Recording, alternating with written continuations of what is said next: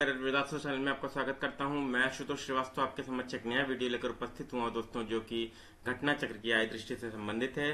दोस्तों, हम लोगों ने घटना चक्र की आय दृष्टि कंप्लीट करना प्रारंभ की थी और जिसमें दोस्तों, हम लोगों ने काफ़ी चीज़ें कवर कर ली हैं और दोस्तों, आज हम लोग देखेंगे वैज्ञानिक परिदृश्य में दूसरा वीडियो जो हमारा होगा रक्षा से, अंतरिक्ष से और अद्यतन घटनाक्रम से संबंधित। ठीक है दोस्तों? तो आगे बढ़ने से पहले आप सभी लोगों से गुजारिश करूँगा, जो लोग चैनल पर नए हैं, कृपया से लाइक कीजिए, शेयर कीजिए और सब्सक्राइब ज़रूर कीजिएगा दोस्तों। और दोस्तों 12 जून की परीक्षा को जो लोग टारगेट कर रहे हैं, यूपी पीसीएस की घटना चक्र का पीवाईक्यू ज़रूर देख लें। 2021 से लेकर 2012 तक के पेपर पूरे कंप्लीट करा दिए गए हैं, दस साल के पेपर, और उसका प्लेलिस्ट बना दिया गया है, लिंक डिस्क्रिप्शन बॉक्स में दे दिया है। ये प्लस आप लोग आई दृष्टि और घटना सर मैंने पहले ही कवर करा दी, इतना अगर आप लोग कर लेंगे दोस्तों तो ये मान के चलिए कि 120 प्लस क्वेश्चन आप लोग सही करके आएँगे, ये मैं गारंटी देता हूँ। ठीक है दोस्तों? तो चलिए, हम लोग आज का वीडियो प्रारंभ करते हैं। करते हैं अद्यतन खगोलीय गतिविधियाँ। दोस्तों, सबसे पहला न्यूज़ है, ईलान क्रिएटर का अमेरिकी अंतरिक्ष एजेंसी नासा ने क्या किया है? उत्तर पश्चिम चीन के हेलोंग जियांग प्रांत में एक लाख वर्ष के भीतर निर्मित विश्व का सबसे बड़ा क्रिएटर खोजा है। ठीक है दोस्तों, जिसका नाम क्या रखा गया है? Elon crater. बस यही आपके लिए महत्वपूर्ण है दोस्तों, ठीक है? किसी उल्का पिंड के पृथ्वी से टकराने से निर्मित क्रेटर को संघात क्रेटर भी कहा जाता है। क्लियर हो गई बात दोस्तों? ये आपके लिए इंपॉर्टेंट है, बस। और इसके बाद दोस्तों देखिए, भारत के महाराष्ट्र राज्य के बुल्ढाना में लोनार झील भी जो है, वो क्या है? एक क्रेटर ही है। क्लियर हो गई बात दोस्तों? चलिए, अगला news P S L V C fifty two S zero four mission अब देखिए बेसिकली है क्या दोस्तों? ये आपका क्या है? ये एक उपग्रह है। ठीक है दोस्तों? अब देखिए अर्थ ऑब्जर्वेशन सैटेलाइट अब पीएसएलवी आपको पता है पोलर सैटेलाइट लॉन्चिंग व्हीकल अब दोस्तों देखिए क्या हुआ? पीएसएलवी की चौवनवी उड़ान है, ठीक है? और श्री हरिकोटा स्थित सतीश धवन अंतरिक्ष केंद्र शार के प्रथम लॉन्च पैड से यह सफल उड़ान भरी गई है। ठीक है दोस्तों? इसके बाद दोस्तों इसके पश्चात मुख्य उपग्रह जो है ईओएस ज़ीरो फोर और दो लघु उपग्रहों को पाँच किलोमीटर की ऊंचाई पर सूर्य तुल, तुल्यकालिक ध्रुवीय कक्षा में स्थापित कर दिया गया। ये इंपॉर्टेंट नहीं है आपके लिए। वर्ष 2022 का यह इसरो का पहला मिशन है। ये इंपॉर्टेंट है। मल्टीपल स्टेटमेंट वाले में पूछा जा सकता है। इसके बाद दोस्तों ईओएस ज़ीरो फोर क्या है? भू अवलोकन उपग्रह है। अर्थ ऑब्जर्वेशन सैटेलाइट है। क्लियर हो गई बात? इसके बाद दोस्तों वास्तव में यह क्या है? आपका रिसेट है। रिसेट मतलब राडार इमेजिंग सैटेलाइट ठीक है दोस्तों राडार प्रतिबिंबन उपग्रह, जिसमें क्या किया जाएगा, जिससे कृषि, वानिकी और बागान, मिट्टी में नमी और जल विज्ञान और बाढ़ मानचित्रकरण जैसे अनुप्रयोगों हेतु सभी मौसमी परिस्थितियों में उच्च गुणवत्ता वाली छवियाँ प्रदान करने हेतु इसे विकसित किया गया है। बस इतना ही इम्पोर्टेंट है दोस्तों, और कोई इम्पोर्टेंट नहीं है, ठीक है? इस उपग्रह का निर्माण यू आर राव उपग्रह केंद्र बेंगलुरु द्वारा किया गया है। बस ठीक है दोस्तों, इतना ही आपको ध्यान रखना है। पीएसएलवी सी फिफ्टी टू से कौन सा उपग्रह छोड़ा गया? रडार इमेजिंग सैटेलाइट रिसैट भी इसको बोलते हैं। क्लियर हो गई बात दोस्तों? चलिए, अब दोस्तों आ जाते हैं I N S two T D ISRO का यह प्रौद्योगिकी मार्गदर्शक इसरो का एक प्रौद्योगिकी प्रदर्शक है, जो भारत भूटान संयुक्त उपग्रह का पूर्ववर्ती है। ठीक है? जो भारत भूटान संयुक्त उपग्रह का पूर्ववर्ती है। क्लियर हो गई बात?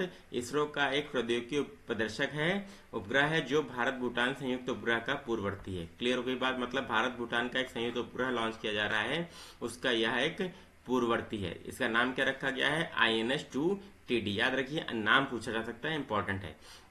इसके बाद दोस्तों इंस्पायर सेट वन यह एक छात्र उपग्रह है, ठीक है स्टूडेंट सैटेलाइट है क्लियर हो गई बात दोस्तों? इस उपग्रह को इसरो और प्रौद्योगिकी संस्थान आईआईएसटी तिरुवनंतपुरम द्वारा कोलोराडो विश्वविद्यालय अमेरिका के सहयोग से विकसित किया गया है, ठीक है? इसका उद्देश्य क्या है? आयन मंडल गतिकी के साथ साथ सूर्य के कोरोना की तापन प्रक्रिया की समझ में सुधार करना। बस इतना ध्यान रखिए। क्लियर हो गई बात दोस्तों? छात्र उपग्रह है, पूछा जा सकता है, ये किस तरह का उपग्रह है? तो किस तरह का उपग्रह, ये ज़रूर ध्यान रखिए। यूएस ज़ीरो फोर रिसेट है, ठीक है? रडार इमेजिंग सैटेलाइट है और इंस्पायर सेट जो है वो स्टूडेंट सैटेलाइट है।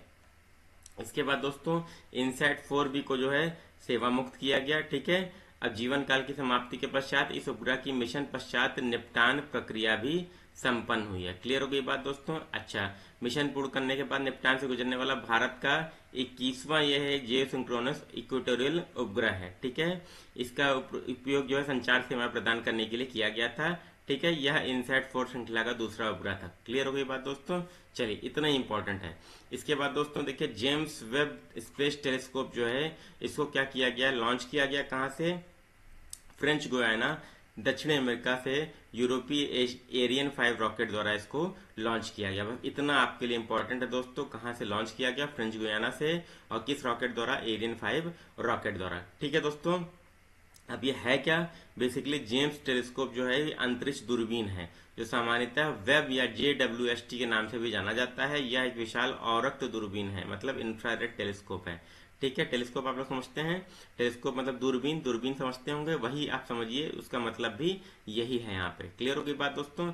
अच्छा अब ये नासा द्वारा निर्मित जो है, अभी तक का सर्वाधिक शक्तिशाली अंतरिक्ष दूरबीन है। अच्छा अब इसमें देखिए विशेष बात क्या है? विशेष बात यह जो एग्ज़ाम में पूछा जा सकता है J W S T NASA European अंतरिक्ष एजेंसी और कनाडाई अंतरिक्ष एजेंसी का एक साझा मिशन है। ये मल्टीपल स्टेटमेंट वाले में पूछा जा सकता है। ठीक है? अच्छा अब इस ये करेगा क्या? ये बेसिकली बिग बैंग के पश्चात प्रथम प्रदीप्त चमक से लेकर सौर प्रणालियों के क्रमिक विकास तक का अध्ययन इस दूरबीन के ज़रिए करेगा। बस यही इतना आपके लिए इंपॉर्टेंट है दोस्तों, और ज़्यादा आपको डिटेल में जानने की आवश्यकता नहीं है। इसके बाद दोस्तों cryogenic rocket engine Dhawan one. Dhawan one क्या किया गया? प्रक्षेपित किया गया, ठीक है? धवन वन नामक रॉकेट इंजन का सफल परीक्षण किया गया दोस्तों। यह हैदराबाद स्थित निजी क्षेत्र की भारतीय एरोस्पेस निर्माता और वाणिज्यिक प्रक्षेपण सेवा प्रदाता स्टार्टअप स्काई रूट एरोस्पेस द्वारा इसका विकास किया गया है। ठीक है दोस्तों? अच्छा धवन वन क्या है? भारत का प्रथम निजी रूप से विकसित पूर्ण क्रायोजेनिक रॉकेट इंजन है। ये इंपॉर्टेंट है दोस्तों। मतलब अभी तक निजी रूप से विकसित कोई पूर्ण क्रायोजेनिक इंजन भारत में प्रक्षेपित नहीं किया गया था। अब दोस्तों देखिए, ये क्या करेगा? एलएनजी बेसिकली क्या है? 90 परसेंट से अधिक मीथेन होती है एलएनजी में। ये इंपॉर्टेंट है। आपके लिए देखिए मैंने मार्क किया है। ठीक है, इसको भविष्य का ईंधन भी कहा गया है। ये एग्ज़ाम में आपसे पूछा जा सकता है। क्लियर हो गई बात दोस्तों? चलिए इसके बाद दोस्तों हम लोग करेंगे क्या? भारतीय अंतरिक्ष संघ का शुभारंभ हुआ इंडियन स्पेस एसोसिएशन का। प्रधानमंत्री नरेंद्र मोदी ने भारतीय अंतरिक्ष संघ इंडियन स्पेस एसोसिएशन का शुभारंभ किया। ठीक है दोस्तों, यह अंतरिक्ष तथा उपग्रह कंपनियों का एक अग्रणी उद्योग संघ है। भारतीय अंतरिक्ष संघ के टैगलाइन है भूमंडल से ब्रह्मांड तक। क्लियर हो गई बात दोस्तों? बस इतना याद रखिए और कुछ ज़्यादा इंपॉर्टेंट इसमें नहीं। इसके बाद दोस्तों, हैसन क्रिएट, हैसन क्रेटर। अब दोस्तों देखिए, पहला न्यूज़ है। अमेरिकी अंतरिक्ष एजेंसी नासा द्वारा अंतर्राष्ट्रीय खगोलीय संघ ने चंद्रमा के दक्षिणी ध्रुव पर स्थित एक क्रेटर को हेंसन क्रेटर नाम दिया है। क्लियर हो गई बात दोस्तों? बस इतना ध्यान रखिए और कुछ नहीं करना है आपको। ठीक है? इसके बाद दोस्तों अगला न्यूज़ है। GSLV F ten EOS zero three mission असफल हो गया। ये पूछा जा सकता है दोस्तों कि कौन सा मिशन असफल हुआ था? तो 12 अगस्त 2021 को सतीश धवन अंतरिक्ष केंद्र शार शार जो है बेसिकली सतीश धवन अंतरिक्ष केंद्र को बोला जाता है, ठीक है? हरिकोटा से प्रक्षेपित GSLV F ten ES zero three mission असफल रहा, ठीक है? क्यों असफल रहा? क्योंकि तृतीय क्रायोजेनिक चरण में इसका प्रज्वलन नहीं हो सका ठीक है? यह एक ईओएस ज़ीरो थ्री भू अवलोकन उपग्रह था जो भू तुल्यकालिक कक्षा में प्रक्षेपित किया जाना था, ठीक है? ये करता क्या? प्राकृतिक आपदाओं के साथ साथ जल निकायों, फ़सलों, वनावरण परिवर्तनों इत्यादि की निगरानी में सक्षम उपग्रह था। इसकी अवधि भी दस वर्ष थी। ठीक है दोस्तों क्लियर हो गई बात? चलिए, अब दोस्तों देखिए, याद रखिएगा ईयूएस ज़ीरो फोर सफल रहा और ईयूएस ज़ीरो थ्री असफल रहा। ठीक है, अब हम लोग देख लेते हैं तकनीकी और प्रौद्योगिकी का। सेमिकॉन इंडिया सम्मेलन जो हुआ, वो सेमिकॉन इंडिया से समझ लीजिए सेमी कंडक्टर से संबंधित है दोस्तों। ठीक है, ये कहाँ पे आयोजित हुआ? बंगलुरु में। बस इतना इंपॉर्टेंट है। और विषय क्या था दोस्तों? भारत के सेमी कंडक्टर पारिस्थितिकी तंत्र की गति में वृद्धि। ठीक है? इसके बाद दोस्तों, भारत की पहली स्टील स्लैग रोड जो है, वो कहाँ निर्मित हुई दोस्तों? ये बताइए लगभग। हजीरा औद्योगिक क्षेत्र सूरत, गुजरात में बनाई गई कहा कि? भारत की पहली स्टील स्लैग रोड। बस ये ध्यान रखिए, हजीरा। ठीक है दोस्तों, और हजीरा कहाँ पे है? गुजरात में। जो एग्ज़ाम में पूछा जाएगा दोस्तों केवल उतना ही आपको पढ़ना है। इसके बाद दोस्तों सुपर कंप्यूटर परम प्रवेगा जो है, वो कहाँ पे इंस्टॉल किया गया दोस्तों? तो आई बंगलुरु। आईआईएससी बंगलुरु में। ठीक है दोस्तों, आईआईएससी बंगलुरु में परम प्रवेगा नामक सुपर कंप्यूटर को स्थापित किया गया। यह सबसे शक्तिशाली सुपर कंप्यूटरों में से एक है। ठीक है दोस्तों, क्लियर हो गई बात? यह national super computer super computing mission के तहत इसको स्थापित किया गया है। इसकी कुल सुपर कंप्यूटिंग क्षमता 3.3 पेंटा फ्लॉप्स है। ठीक है? इसके बाद दोस्तों देख लेते हैं, परम गंगा सुपर कंप्यूटर जो है ये आईआईटी रुड़की में स्थापित किया गया दोस्तों। इसका पेंट, यह एक पेंटा स्केल सुपर कंप्यूटर है। इसकी सुपर कंप्यूटिंग क्षमता 1.66 पेंटा फ्लॉप्स है। क्लियर हो गई बात दोस्तों? इसकी उपलब्धता से आईआईटी रुड़की तथा आसपास के अकादमिक संस्थानों के प्रयोगता समुदाय को कंप्यूटेशनल शक्ति प्राप्त होगी। ठीक है दोस्तों? इसके बाद दोस्तों देख लेते हैं राष्ट्रीय super computer super computing mission के तहत जो है प्रमुख सुपर कंप्यूटर कौन कौन से हैं? परम शिवाय जो है आईआईटी बीएचयू में है। परम शक्ति, आईआईटी खड़गपुर में, परम ब्रह्मा, आईआईएसईआर पुणे, परम युक्ति, आपका J N C S R Jawaharlal Nehru उन्नत वैज्ञानिक अनुसंधान केंद्र, बंगलुरु, परम संगणक, IIT Kanpur, Param Siddhi, C DAC, Pune. Clear हो गई बात दोस्तों? चलिए, इसके बाद दोस्तों, भारत का पहला कोयला से मेथनॉल संयंत्र जो है, वो कहाँ पे लगाया गया दोस्तों? देखिए, भारतीय कोयले को मिथनॉल में बदलने की स्वदेशी तकनीक विकसित की है भारत ने, अधिक राख वाले कोयले से, ठीक है? यह पहला प्रायोगिक संयंत्र हैदराबाद में स्थापित किया गया है। ठीक है दोस्तों? चलिए, अब दोस्तों, किया क्या जाएगा बेसिकली इसमें? किया ये जाएगा कि देश का ये पहला है स्वदेशी उच्च राख कोयला गैसीकरण आधारित मेथनॉल उत्पादन संयंत्र। ये इंपॉर्टेंट है दोस्तों। मतलब देश का पहला है, ये ध्यान रखिएगा। अब, ठीक है? इसमें किया क्या जाएगा दोस्तों? कोयले से मिथेन में कन्वर्जन होगा और कुछ भी नहीं होना है। नेक्स्ट न्यूज़ देख लेते हैं दोस्तों। भारत का पहला स्वदेशी सर्वर जो है वो रुद्र विकसित किया गया किसके द्वारा? सी डैक के द्वारा। ठीक है दोस्तों, इतना इंपॉर्टेंट रखिए, ये एग्ज़ाम में पूछा जा सकता है किसने विकसित किया है। इसके बाद दोस्तों सुपर कंप्यूटर की टॉप 500 सूची जो है, जो जारी की गई है दोस्तों, इसमें सबसे विश्व का द्रुततम सुपर कंप्यूटर जो है फास्टेस्ट जो है वो फुगाकू जापान का है। ठीक है दोस्तों क्लियर हो गई बात। और भारत का सबसे द्रुततम क्या है दोस्तों? परम सिद्धि जो कहाँ पे लगा है दोस्तों? ये देखिए, सी डैक, पुणे में। चलिए, अब फुगाकू जो है दोस्तों, नंबर एक पे है। ये आपके लिए एग्ज़ाम में इंपॉर्टेंट है, पूछा जा सकता है। अब digital quality of life index दोस्तों बेसिकली आपको करना क्या है? कौन विकसित किया? सर्वसार्क ने विकसित किया।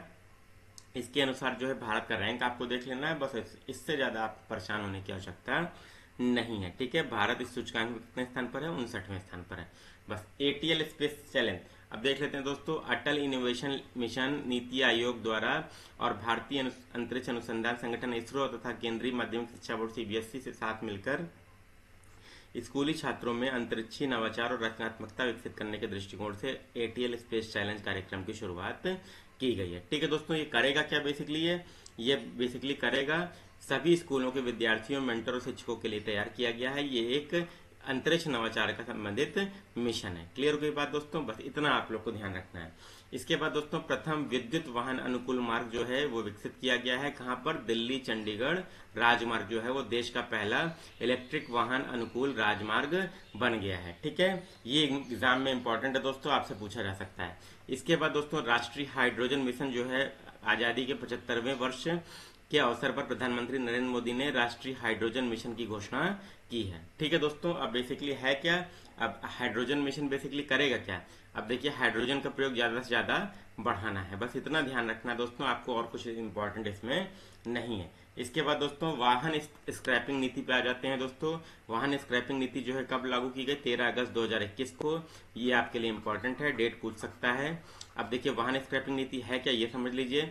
इसमें दोस्तों देखिए वाहन स्क्रैपिंग नीति जो है, वो 2021-22 के बजट में घोषित की गई है।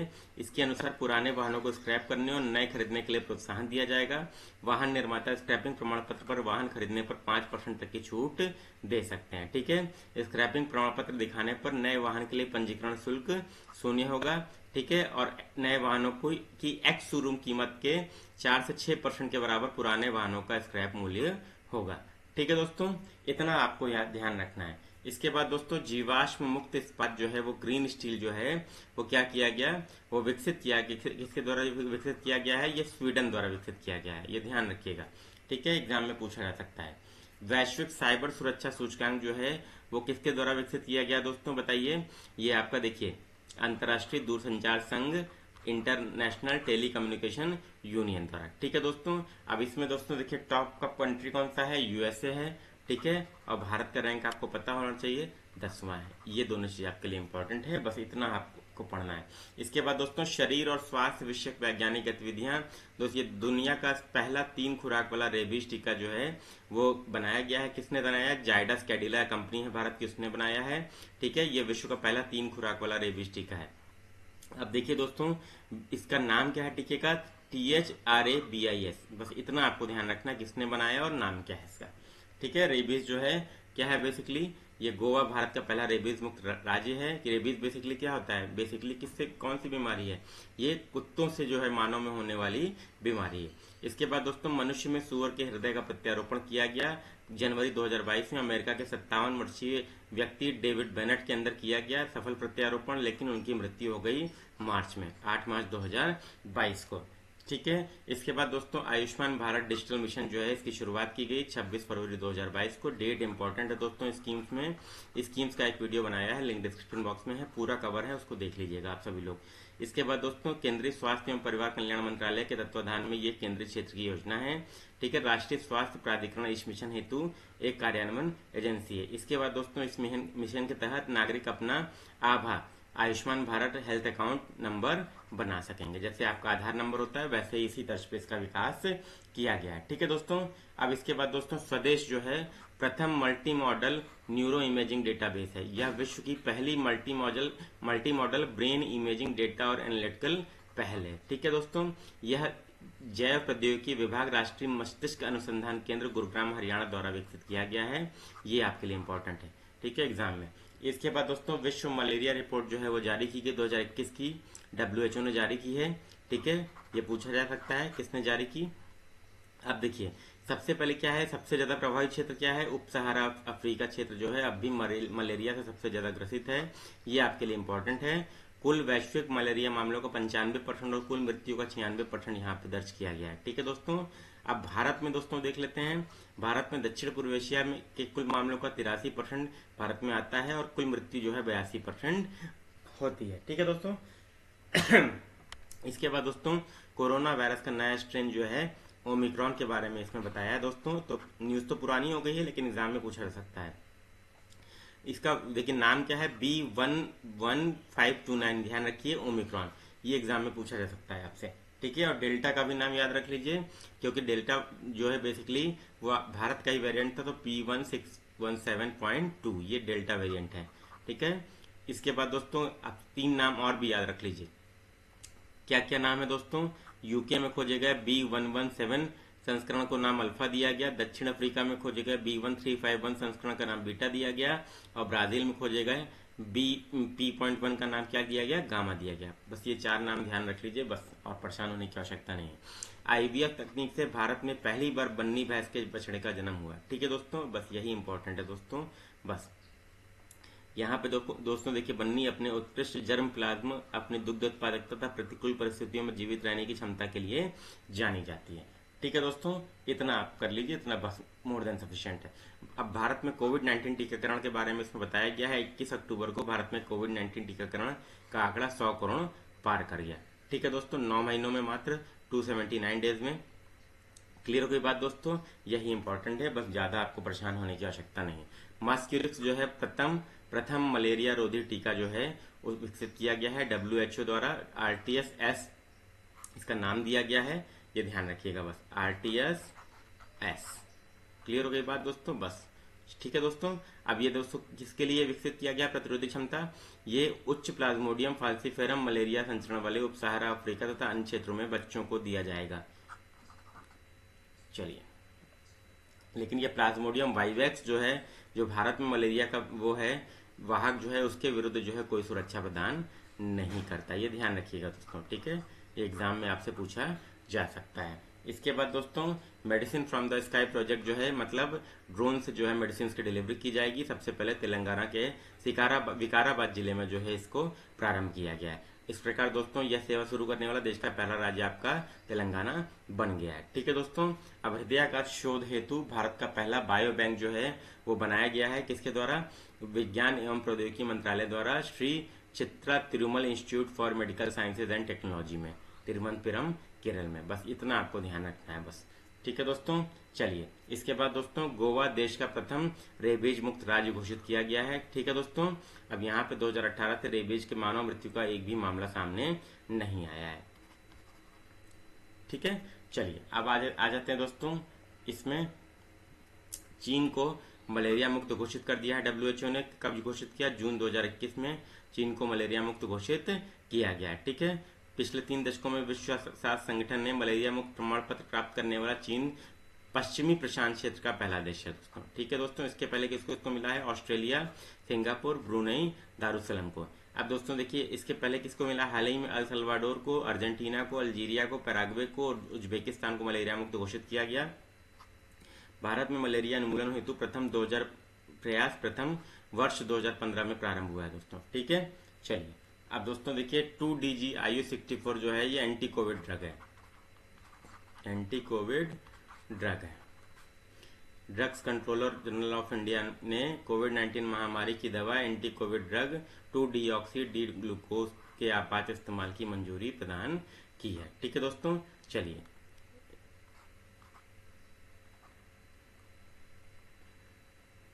क्लियर हो गई बात दोस्तों? चलिए। डीजीसीआई ने दी है मंजूरी इसमें दोस्तों उसका विकास किसने किया है? डीआरडीओ ने विकास किया दोस्तों institute of nuclear medicine and applied sciences ने। ठीक है दोस्तों, चलिए। ये रहा आपका दोस्तों, देखिए, यहाँ तक का। अब आगे आते हैं दोस्तों हम लोग। विज्ञान में दोस्तों, गगन का उड़ान उड़ान परीक्षण किया गया दोस्तों। भारतीय विमानपत्तन प्राधिकरण एएआई द्वारा गगन प्रणाली का सफलतापूर्वक उड़ान परीक्षण किया गया। ठीक है दोस्तों अब ये बेसिकली है क्या दोस्तों समझ लीजिए। भारत ऐसी सफलता प्राप्त करने वाला एशिया प्रशांत का पहला देश बन गया है। ये इसका फुल फॉर्म ध्यान रखिए आ, आ सकता है। GPS aided geo augmented navigation Gagan ठीक है दोस्तों बस। सो इंडिगो स्वदेशी नेविगेशन सिस्टम गगन का उपयोग करके विमान उतारने वाली देश की पहली एयरलाइन बन गई है। ये एग्ज़ाम में पूछा जा सकता है। ठीक है दोस्तों, अब इससे पहले दोस्तों ये प्रणालियाँ किस किस दोस्तों के पास हैं। विश्व में केवल चार उपग्रह आधारित संवर्धन प्रणालियाँ उपलब्ध हैं। गगन भारत की है, वास अमेरिका की है, इग्नोस यूरोप की है और एमसास जो है वो जापान की है। ठीक है दोस्तों, अब ऊर्जा प्रवाह जो है, भारतीय तटरक्षक पोत है, जिसको क्या किया गया? तटरक्षक बल में अभी शामिल किया गया है। इसके बाद दोस्तों, medium range surface to air missile दोस्तों, ये आपकी क्या की? प्रक्षेपित की गई है दोस्तों, ये DRDO plus Israel aircraft agency द्वारा इसका विकास किया गया है। ठीक है दोस्तों? बस इतना ध्यान रखिए दोस्तों, ज़्यादा परेशान नहीं होना है आपको। इसराइल एरोस्पेस इंडस्ट्री द्वारा इसका विकास किया गया, संयुक्त रूप से। ये एग्ज़ाम में पूछा जा सकता है। ठीक है? यही दो ध्यान रखिएगा। इसके बाद दोस्तों हंसा एनजी जो है, वो नई पीढ़ी का प्रशिक्षक विमान है दोस्तों। ध्यान रखिएगा। कैसा विमान है? प्रशिक्षक विमान जो है, इसका जो है क्या किया गया? इसका सफल परीक्षण किया गया है, ठीक है? बस इतना ध्यान रखना है आपको। साइंस, ये डिफेंस वाले में आपको किस प्रकार का विमान है और किस प्रकार का रक्षक पोर्ट है, बस यही आपको ध्यान रखना है। भारत में दोस्तों, ड्रोन आयात पर प्रतिबंध लगा दिया गया है। क्यों? क्योंकि भारतीय उद्योग को बढ़ावा देने के लिए, घरेलू उद्योग को। क्लियर हो गई बात दोस्तों, ताकि घरेलू उत्पादन को बढ़ावा दिया जा सके।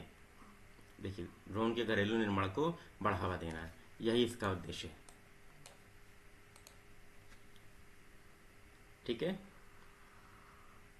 चलिए, अब देखिए दोस्तों बेसिकली है क्या? अब देखिए ड्रोन घटकों के आयात के लिए किसी भी अनुमोदन की आवश्यकता नहीं होगी। इसका मतलब जो कंपोनेंट्स हैं, जिसको अब असेंबल भारत में किया जाएगा, उसके लिए कोई प्रतिबंध नहीं है। अब देखिए, सबसे पहला क्वेश्चन जो आ सकता है, देश का पहला ड्रोन स्कूल जो है खोला गया है, ग्वालियर के एमपी में। ठीक है दोस्तों? बस ध्यान रखिएगा, ये एग्ज़ाम में आ सकता है आपकी बात इंपॉर्टेंट है। राज्य में एमपी में पाँच ड्रोन स्कूल खोलने की योजना है, कहाँ कहाँ? भोपाल, इंदौर, जबलपुर, सतना और ग्वालियर। बस इतना ध्यान रखिए। केंद्रीय बजट 2022-23 में ड्रोन उद्योग को प्रोत्साहन दिया गया है। ड्रोन शक्ति और ड्रोन किसान ड्रोन की घोषणा की गई। दोस्तों, दो नई योजनाओं की ड्रोन शक्ति के तहत क्या किया स्टार्टअप के माध्यम से ड्रोन एक सेवा के रूप में उपयोग को सुविधाजनक बनाने और उसे बढ़ावा देने का लक्ष्य निर्धारित किया गया है। ये फ़सलों के मूल्यांकन, भूलेखों का डिजिटलीकरण कीटनाशकों तथा पोषक तत्वों के छिड़काव के लिए किसान ड्रोन के प्रयोग को बढ़ावा दिया जाएगा। बस इतना ध्यान रखिए दोस्तों। ठीक है दोस्तों? अब दोस्तों प्रलय जो है भारत की नई मिसाइल है। ये डीआरडीओ द्वारा विकसित की गई है। बस ध्यान रखिएगा, ओडिशा तट पर एपीजे अब्दुल कलाम द्वीप से इसको प्रक्षेपित किया गया है। ये क्या है दोस्तों? सामरिक लघु दूरी की बैलिस्टिक मिसाइल है। बस इतना ध्यान रखना है आपको। शॉर्ट रेंज बैलिस्टिक मिसाइल, और सतह से सतह पर मार करेगी। इतना ही आपको ध्यान रखना है। ज़्यादा आपको नहीं पढ़ना है। जैसे मैंने पहले ही अंडरलाइन कर दिया है। आईएनएस खुकरी जो है वो सेवा मुक्त हो गया यह भारत का पहला स्वदेश निर्मित मिसाइल वाहक कॉर्बेट था। ठीक है दोस्तों, मझगांव डॉक शिप बिल्डर द्वारा इसका विकास किया गया था। ठीक है दोस्तों, इसके बाद दोस्तों अग्नि प्राइम मिसाइल का सफल परीक्षण किया गया ओडिशा तट पर एपीजे अब्दुल कलाम द्वीप से। ठीक है दोस्तों, अब इसमें सत्तर से सत्तर मार करने वाली मिसाइल है। इसकी मारक क्षमता 1000 से 2000 किलोमीटर तक है। ठीक है दोस्तों, यह मध्यम दूरी की बैलिस्टिक मिसाइल है। बस इतना ध्यान रखना है दोस्तों, जितना मैंने अंडरलाइन किया है। इसके बाद दोस्तों, stand off anti tank missile जो है वो संत ठीक है? किसके द्वारा विकास किया गया? डीआरडीओ द्वारा, बस। और डीआरडीओ प्लस भारतीय वायुसेना, बस इतना ही आपको ध्यान रखना है दोस्तों, ज़्यादा इंपॉर्टेंट नहीं है। इसके बाद दोस्तों, शीर्ष शस्त्र उत्पादक कंपनियाँ जो है, दो हज़ार बीस की रिपोर्ट जारी की है। जिसमें भारत की तीन कंपनियाँ शामिल हैं दोस्तों। कौन कौन सी एच भारतीय आयुध निर्माणिया इंडियन ऑर्डिनेंस फैक्ट्रीज और भारतीय इलेक्ट्रॉनिक्स लिमिटेड बस ये ध्यान नाम ध्यान रखिए दोस्तों। और टॉप पे जो कंपनी है दोस्तों, भारत की टॉप है एच हो गई। और जो अमेरिकन टॉप की कंपनी है वो अमेरिका की लॉकेड मार्टिन है। ठीक है दोस्तों, ये एग्ज़ाम में पूछा जा सकता है। इसके बाद दोस्तों पिनाक ई e का जो है सफल परीक्षण किया गया है। ठीक है पिनाक ई है क्या? मल्टी बैरल रॉकेट लॉन्चर प्रणाली है। ठीक है, जिसका सफल परीक्षण किया गया है ठीक है? अब दोस्तों इसका विकास किया गया है डीआरडीओ के द्वारा ठीक है? अब डीआरडीओ के जो संस्थान है A R D E Pune इसका इस, डिज़ाइन किया है। यह क्या है? एक मुक्त उड़ान वाली बहु रॉकेट लॉन्चर प्रणाली है। ये एग्ज़ाम में आपसे पूछा जा सकता है मल्टीपल स्टेटमेंट में ठीक है दोस्तों? चलिए इसकी रेंज क्या है दोस्तों बेसिकली पचहत्तर किलोमीटर तक इसमें डीआरडीओ ने बढ़ा दिया है। चलिए इसके बाद आ जाते हैं दोस्तों आईएनएस वेला जो है वो क्या, कहाँ पे शामिल हुआ? नौसैनिक पोतगा में इसको शामिल कर लिया गया दोस्तों। अब दोस्तों देखिए प्रोजेक्ट 75 एग्ज़ाम के लिए इंपॉर्टेंट है आपके लिए। अब ये मुंबई स्थित Mazagon dock ship builders limited द्वारा फ्रांस के मेसर्स नेवल ग्रुप के साथ प्रोजेक्ट पचहत्तर के तहत कलवरी श्रेणी की छह पनडुब्बियों का निर्माण किया जा रहा है। ये आपके लिए इंपॉर्टेंट है, आपको नाम याद होने चाहिए। ये फ्रांस में स्कॉर्पियन श्रेणी बोला जाता है और भारत में इसको कलवरी, खंदेरी, करंज, वेला, वागीर और वाक्षीर ठीक है दोस्तों, ये इंपॉर्टेंट है, छह नाम इसमें से एक पूछा जा सकता है। प्रोजेक्ट सेवेंटी फाइव ध्यान रखिएगा। स्कॉर्पियन श्रेणी की इन छह पनडुब्बियों के निर्माण के लिए अक्टूबर 2005 में भारत और फ्रांस के साथ समझौता हुआ था। ये मल्टीपल स्टेटमेंट वाले में आपसे पूछा जा सकता है। वेरी इंपॉर्टेंट है दोस्तों। ठीक है? यह आई एन एस वेला क्या है? डीजल इलेक्ट्रिक स्टील्थ पनडुब्बी है। ठीक है दोस्तों स्कॉर्पियन श्रेणी की पहली पनडुब्बी आई एन एस कलवरी थी, वो सब ऊपर देखिए लिखाई दी है ठीक है दोस्तों? ये आई एन एस वर्कशीट का भी जलावतरण हो गया है। ऊपर मैंने बता ही दिया आपको। इसके बाद दोस्तों आई एन एस विशाखापत्तनम जो है बेसिकली भारतीय नौसेना में शामिल हो गया है। ये है क्या दोस्तों? आपको बस यही ध्यान रखना है। ये है क्या? युद्ध पोत है कि पनडुब्बी है? यही आपको ध्यान रखना है दोस्तों। ये बेसिकली युद्ध पोत है। ठीक है दोस्तों, इसका जो है इन हाउस संगठन नौसेना डिज़ाइन निदेशालय द्वारा इसका डिज़ाइन किया गया है। ठीक है? अब देखिए, परियोजना पंद्रह बी क्या है? ये भी आपके लिए इंपॉर्टेंट है दोस्तों। ठीक है, पंद्रह बी समझ लीजिए, वर्तमान में मुंबई स्थित मजगांव डॉक शिप बिल्डर द्वारा चार निर्देशित गाइडेड मिसाइल विध्वंसक पोतों का निर्माण किया जा रहा है। इन निर्मित पोतों को विशाखापत्तनम श्रेणी के विध्वंसक युद्ध पोतों के नाम से भी जाना जाता है। ठीक है दोस्तों, इसके तहत निर्मित प्रथम निर्देशित मिसाइल विध्वंसक पोत आईएनएस विशाखापत्तनम है। बीस अप्रैल को जलावतरण हुआ था। उसके बाद दूसरा आपका आईएनएस मुरमा गुआ है। ठीक है दोस्तों, और दो अन्य है आईएनएस इम्फाल और आईएनएस सूरत नाम आपको दोस्तों 100 परसेंट याद रखिएगा। परियोजना पचहत्तर बी, परियोजना पचहत्तर और परियोजना पंद्रह बी में से एक दोस्तों एग्ज़ाम में इस बार पूछा जाएगा। इसके बाद दोस्तों रुस्तन टू ड्रोन जो है वो डीआरडीओ द्वारा विकसित किया गया है। ठीक है दोस्तों? बस, ध्यान रखिए, किसने विकसित किया? डीआरडीओ ने। ठीक है? क्लियर हुई बात? इसके बाद दोस्तों ये बेसिकली है क्या, करेगा क्या? ये आप लोग को पता है, अधिकतम 2200 फीट की ऊंचाई तक लगातार 20 घंटे से अधिक समय तक उड़ान भरने में सक्षम है। ठीक है, आईएनएस तुशील का जलावतरण हुआ दोस्तों। तुशील भी है क्या दोस्तों? तुशील भी एक आपका युद्धपोत है। बस यही आपको ध्यान रखना है दोस्तों, इसी में कंफ्यूजन होगा क्योंकि कई सारे नाम हो गए हैं।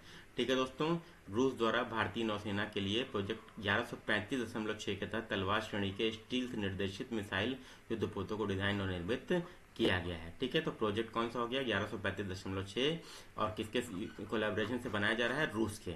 ठीक है दोस्तों, चलिए, अब दोस्तों देखिए, समझौते के तहत जो है, जो भारत और रूस के हुआ था, उसके तहत जो है तीन और युद्धपोत आईएनएस वेग और आईएनएस तरकश आईएनएस त्रिखंड का निर्माण किया गया जुलाई 2006 में। इसके बाद दोस्तों प्रोजेक्ट ग्यारह के तहत तीसरे बैच में दो और युद्धपोतों का निर्माण हुआ। ठीक है, इनके नाम दोस्तों कौन कौन से हैं? आईएनएस तुशील और आईएनएस तमला। ठीक है तो इसके बाद जो है आईएनएस तमला अब दोस्तों देखिए, ये भी इंपॉर्टेंट है आपके लिए। भारतीय तटरक्षक पोत जो है, वो सार्थक जो है, उसको क्या किया गया? राष्ट्र को समर्पित कर दिया गया। ठीक है दोस्तों, भारतीय तटरक्षक पोत सार्थक को गोवा को, गोवा में राष्ट्र को समर्पित किया गया। डेवलपमेंट किसने किया है दोस्तों? आपका गोवा शिपयार्ड लिमिटेड ने इसका डेवलपमेंट किया है। ठीक है दोस्तों आईजीसीएस सार्थक भारतीय तटरक्षक बल के लिए गोवा शिपयार्ड लिमिटेड द्वारा निर्मित किया जा रहा है पाँच अब तटीय गश्ती पोतों में से चौथा पोत है। ये दोस्तों यूपीपीसीएस 2019 में पूछा जाता है, पूछा गया है किस प्रकार का पोत है। ठीक है तो देखिए, याद रखिए तो युद्ध पोत आईसीजीएस सचेत, सुजीत, सजग और सक्षम, और सार्थक आपका पहले समर्पित कर दिया गया। तो चार और हैं दोस्तों, ठीक है? तो पाँचों नाम ध्यान रखिएगा। इन तीन में से दोस्तों दो क्वेश्चन आपका एग्ज़ाम में आ सकता है। इसके बाद दोस्तों देखिए, अग्नि फाइव मिसाइल का सफल परीक्षण हुआ है दोस्तों। इसकी रेंज क्या है? पाँच किलोमीटर है। इसे आठ हज़ार से दस किलोमीटर तक बढ़ाया जा सकता है। ये पारंपरिक तथा नाभिकीय युद्ध शीर्ष दोनों ले जाने में सक्षम है। बस इतना ही इंपॉर्टेंट है दोस्तों। इसके बाद दोस्तों high speed expendable aerial target Abhyas जो है वो सफलतापूर्वक क्या किया गया? उड़ान परीक्षण किया गया। ये क्या है? बेसिकली ये टारगेट एयरक्राफ्ट है। दोस्तों, ठीक है दोस्तों? यही आपके लिए इम्पोर्टेंट है बस। मुख्य युद्धक टैंक जो है वो अर्जुन मार्क वन है। तो ये है क्या बेसिकली युद्धक टैंक है अर्जुन। ठीक है दोस्तों? किसके द्वारा विकास किया गया? डीआरडीओ द्वारा। बस इतना दोस्तों ध्यान रखना है जितना इंपॉर्टेंट है आपके लिए, ज़्यादा परेशान नहीं होना है। अब देखिए आईएनएस ध्रुव जो है, इसकी तैनाती हो गई है हिंदुस्तान शिपयार्ड लिमिटेड ने। क्या किया है? भारतीय नौसैनिक को ध्रुव को आधिकारिक रूप से सेवा में शामिल किया गया ठीक है आईएनएस ध्रुव भारत का पहला मिसाइल का पता लगाने वाला समुद्री निगरानी पोत है। बस ये आपके लिए इंपॉर्टेंट है दोस्तों। इसके पहले इस प्रकार की क्षमता जो है, चुनिंदा देशों के पास थी, अमेरिका, रूस, चीन और फ्रांस के पास। इसमें अब भारत भी शामिल हो गया है। ठीक है इसके बाद दोस्तों चैफ प्रौद्योगिकी जो है बेसिकली डीआरडीओ द्वारा विकसित की गई है। यह है कर, करेगी क्या चैफ प्रौद्योगिकी? डीआरडीओ द्वारा भारतीय वायुसेना के लड़ाकू विमानों को दुश्मन के रडार से बचाने हेतु तो चैफ प्रौद्योगिकी का विकास किया गया है। बस यही आपके लिए इंपॉर्टेंट है। ठीक है दोस्तों चलिए इसके बाद ये कैसे काम करेगी? वह इंफ्रारेड और रडार खतरों के खिलाफ निष्क्रिय जैमिंग प्रदान करती है। ठीक है? आकाश एनजी मिसाइल का सफल परीक्षण हुआ दोस्तों, कहाँ से? ओडिशा तट पर स्थित चांदीपुर के एकीकृत परीक्षण रेंज से। सत्तर से सत्तर मार करने वाली मिसाइल है। ठीक है दोस्तों, ये आकाश श्रेणी की ही मिसाइल है। ठीक है? अब देखिए बेसिकली करना क्या है दोस्तों? ये आकाश एनजी मिसाइल जो है 80 किलोमीटर दूर तक स्थित शत्रु के लड़ाकू विमानों को चिन्हित कर लेती है और 50 किलोमीटर की दूरी पर जब वो होता है तो इसे लॉन्च कर दिया जाता है और एक मिनट की अवधि में 30 किलोमीटर की दूरी पर उसको ध्वस्त कर देती है। क्लियर हो गई बात दोस्तों? आकाश प्राइम मिसाइल का सफल परीक्षण किया गया 27 सितंबर 2021 को डीआरडीओ द्वारा इसको विकसित किया गया बस इतना ध्यान रखिए। एमपीएटीजीएम बेसिकली क्या है? फुल फॉर्म याद रखिए। Man portable anti tank guided missile मानव द्वारा वहनी लॉन्चर से प्रक्षेपित इसको किया गया था। ठीक है? अब ये क्या है? कम वजनी है। ठीक है? दागो और भूल जाओ की पद्धति पर आधारित है। ठीक है? अब बेसिकली करना क्या है दोस्तों? देखिए अग्नि पी प्राइम मिसाइल का सफल परीक्षण हुआ। ठीक है? इसको भी विकास किसने किया दोस्तों? डीआरडीओ अग्नि दोस्तों और आकाश, सब, सारा का सारा जो है डीआरडीओ का खेल है दोस्तों, रक्षा विज्ञान में। मारक क्षमता कितनी है? एक हज़ार से दो हज़ार किलोमीटर, ठीक है? अब ये ये आपका क्या है बेसिकली चार हज़ार किलोमीटर के रेंज वाली अग्नि फोर और पाँच हज़ार किलोमीटर के रेंज वाली अग्नि फाइव मिसाइल में प्रयुक्त प्रौद्योगिकियों का इसमें प्रयोग किया गया है। ठीक है? अब आईएनएस राजपूत जो है बेसिकली क्या था? विध्वंसक पोत था दोस्तों। क्या था? विध्वंसक पोत, इसको सेवा मुक्त कर दिया गया है। कहाँ पे ये कमीशन था? आईएनएस राजपूत विशाखापट्टनम में। ठीक है दोस्तों, चलिए, इसका विकास किसने किया था? यूएसएसआर ने किया था। इसका विकास यूक्रेन में हुआ था मतलब। और राजपूत रेजिमेंट के साथ इसको जोड़ा गया था। उम्मीद करता हूँ वीडियो अच्छा लगा होगा। अच्छा लगा तो प्लीज़ लाइक कीजिए, शेयर कीजिए चैनल को सब्सक्राइब ज़रूर कीजिएगा दोस्तों। Thank you very much best